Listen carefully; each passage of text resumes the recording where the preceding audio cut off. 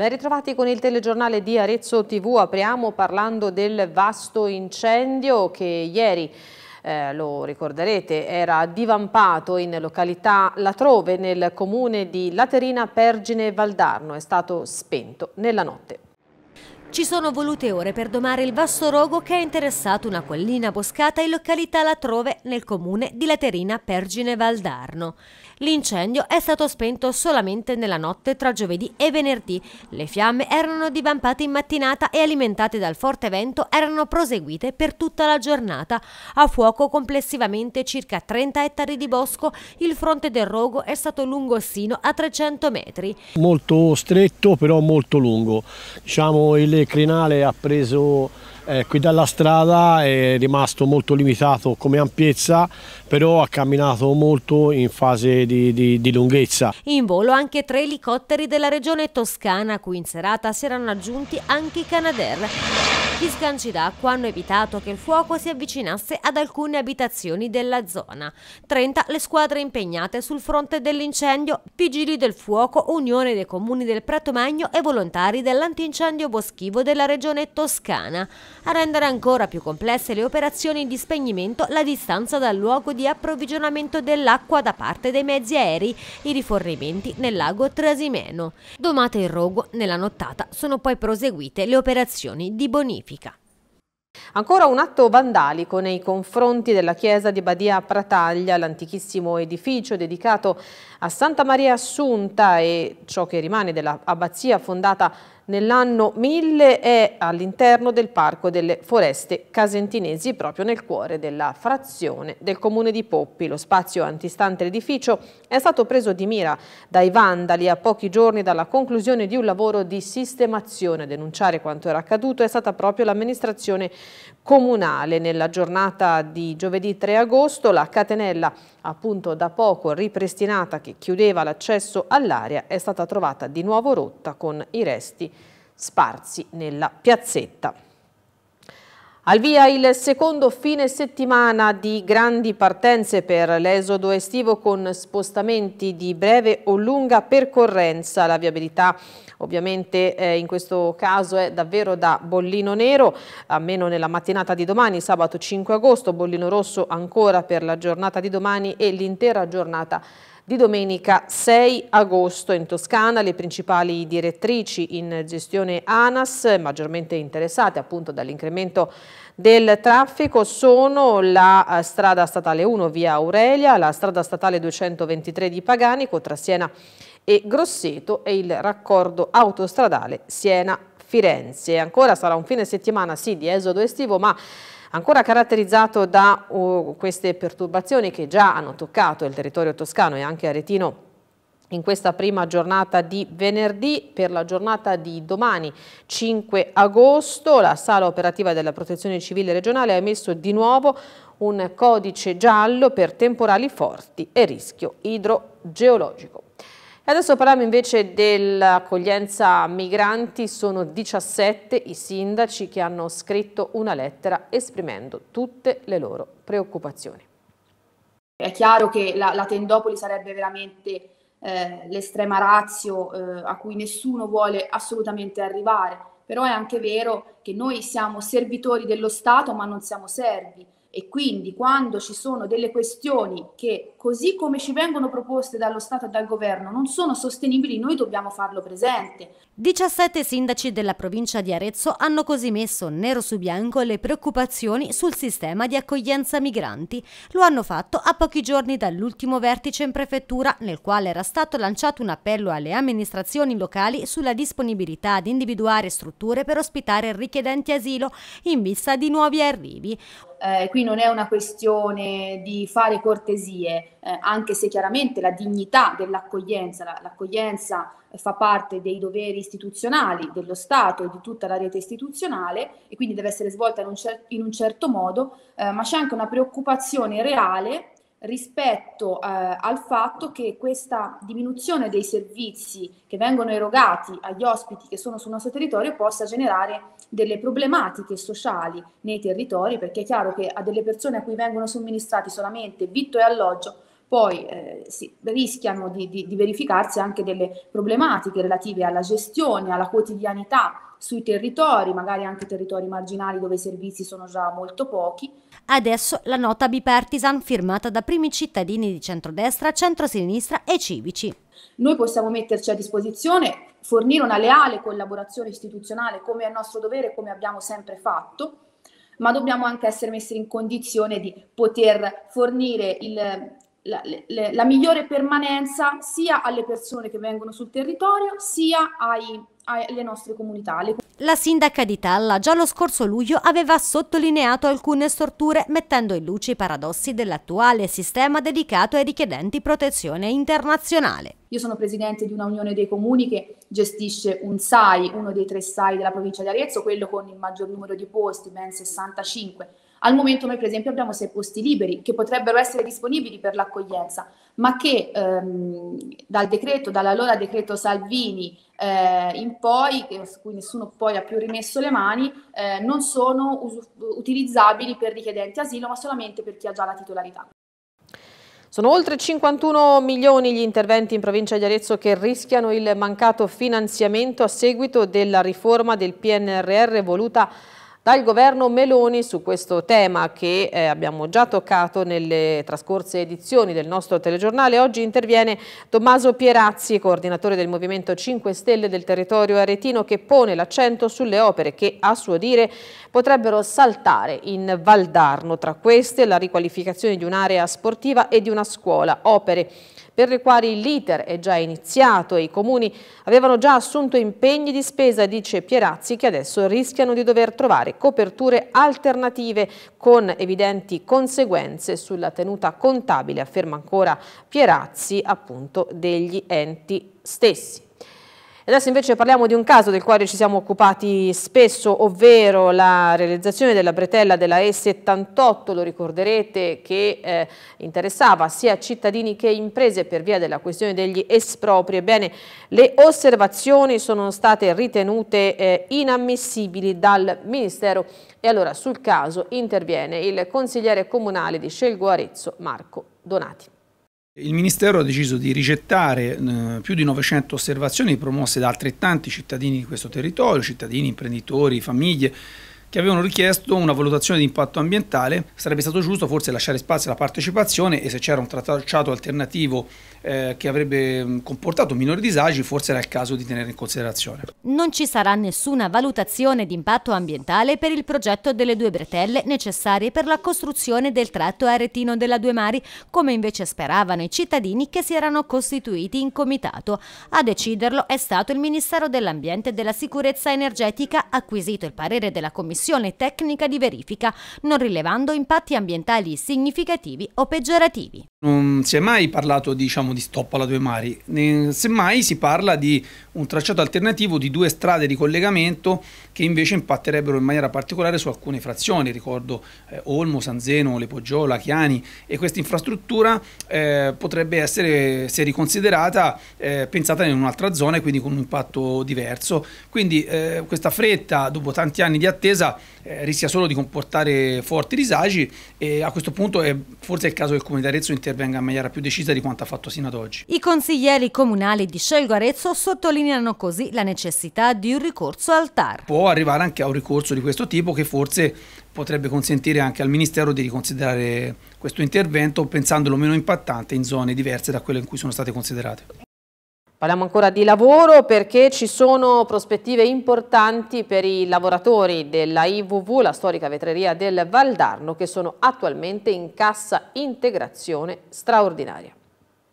Nuove opportunità per i 40 lavoratori della IVV, la storica vetreria del Valdarno, attualmente in cassa integrazione straordinaria.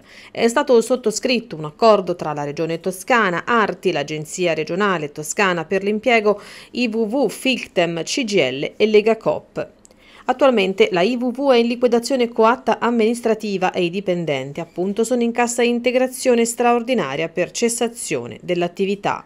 La formazione sarà un'opportunità per la ricollocazione lavorativa all'interno della storica vetreria per la cui ripresa stanno lavorando i sindacati.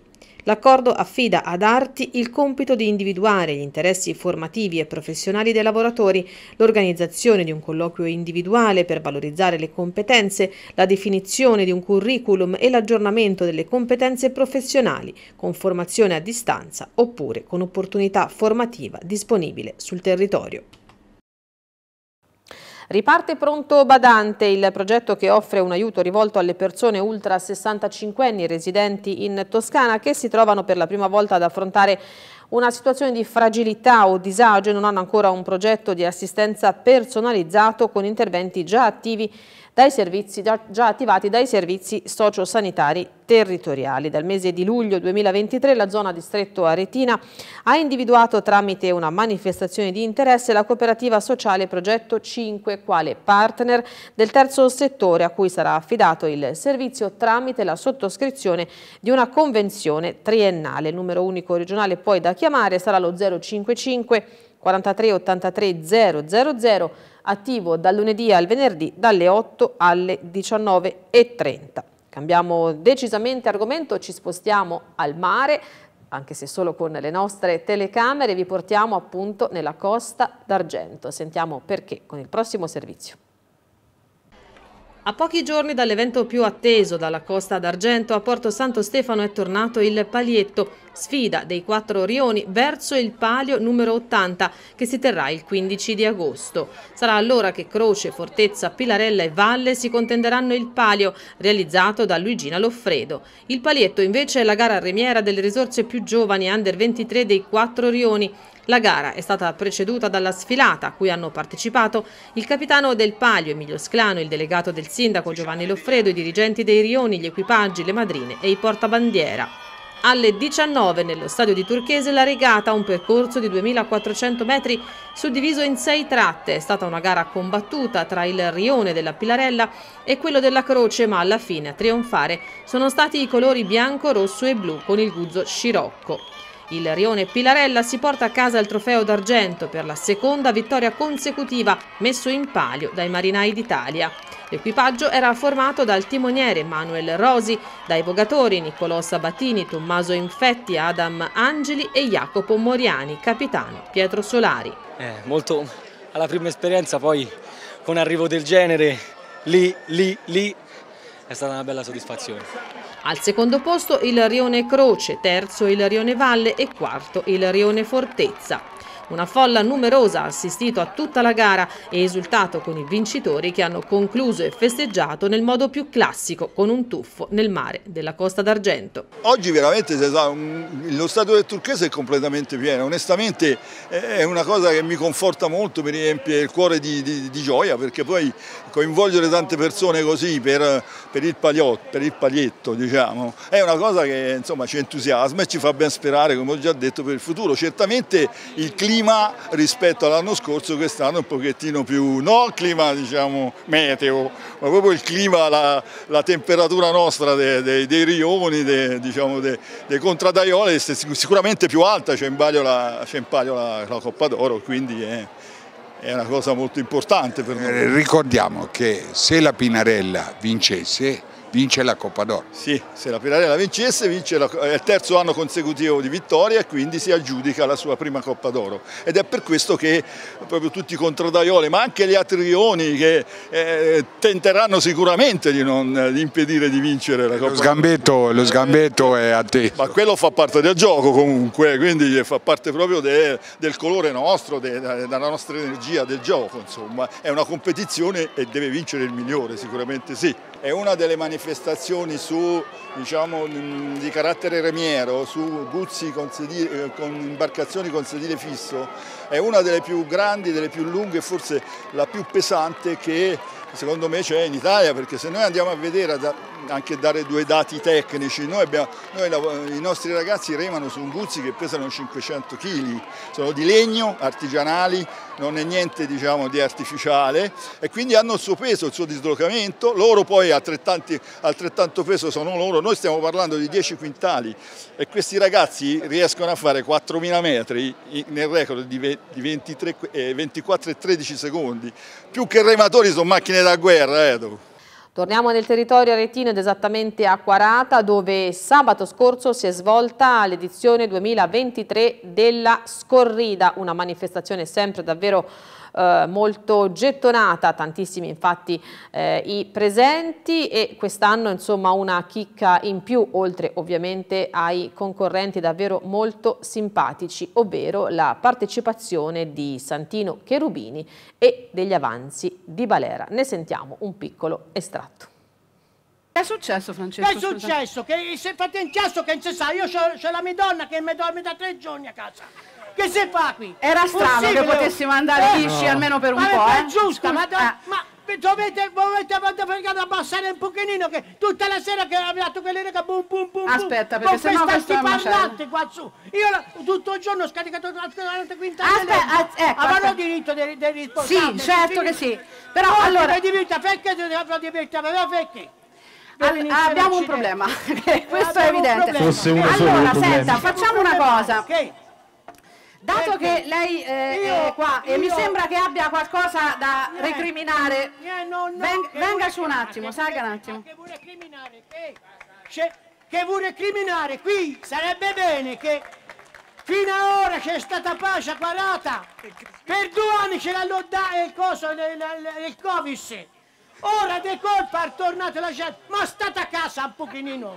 E allora non perdetevi l'edizione integrale della Scorrida che andrà in onda questa sera subito dopo il nostro telegiornale e poi anche nella serata di sabato 5 agosto a partire dalle 21. Siamo adesso invece allo sport, lunedì 7 agosto saranno pubblicati i calendari della Serie C, lo ha annunciato il presidente della Lega Pro Matteo Marani al termine del Consiglio federale che si è svolto oggi a Roma. Il campionato, ha detto, inizierà il 3 settembre con anticipi e posticipi, mentre il via della Coppa Italia di Serie C sarà fissato dopo l'inizio del campionato. Sono certo, ha detto ancora il presidente, che sarà una stagione ancora più bella di quella passata, con tanti giovani a cui parteciperà la vera Italia con la presenza presenza di club in quasi tutte le regioni.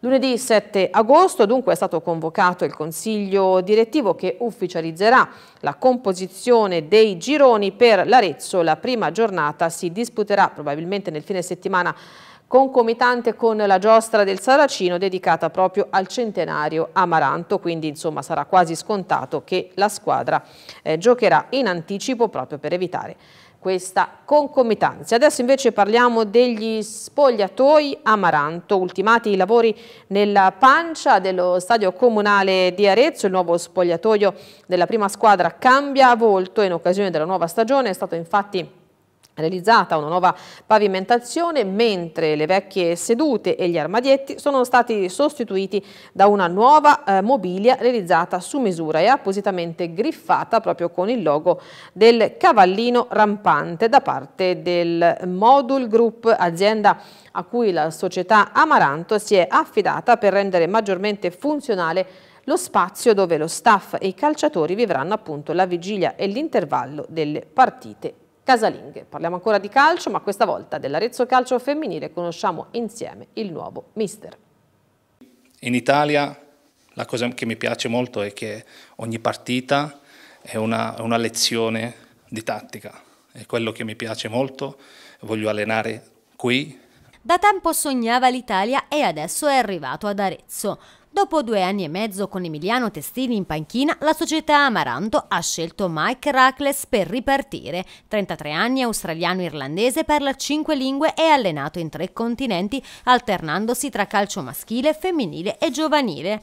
È normale nel calcio che il primo anno eh, in una nuova categoria eh, ci sono delle difficoltà, però per tutte le squadre.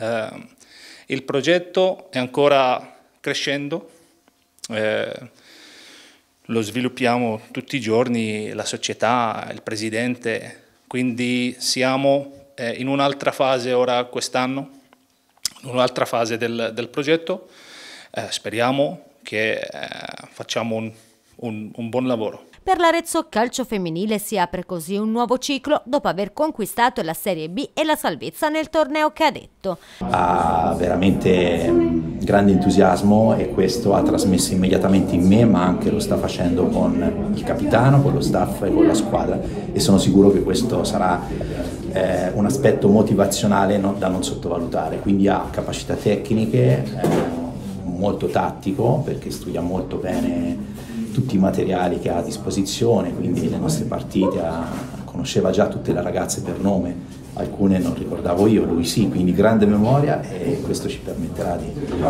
eh, ottenere sicuramente anche buoni risultati. La preparazione atletica dell'Arezzo Calcio Femminile comincerà lunedì ad indicatore in vista del campionato di Serie B.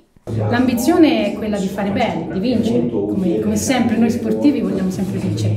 Eh, quindi da, da, qui parte questo nostro nuovo progetto molto importante, ambizioso e non vediamo l'ora di cominciare. È tutto per questa edizione del nostro telegiornale, vi lascio allora, non cambiate davvero canale perché vi lascio con la edizione 2023 della Scorrida, un'edizione davvero scoppiettante, eh, scoprirete anche chi avrà vinto tra i nove eh, partecipanti, davvero dilettanti allo sbaraglio, molto molto simpatici, ma sarà un'edizione ancora più ricca perché vedrà sul palco salire Santino Cherubini e, non vi anticipo altro, gli avanzi di Balera. Grazie per l'ascolto, arrivederci.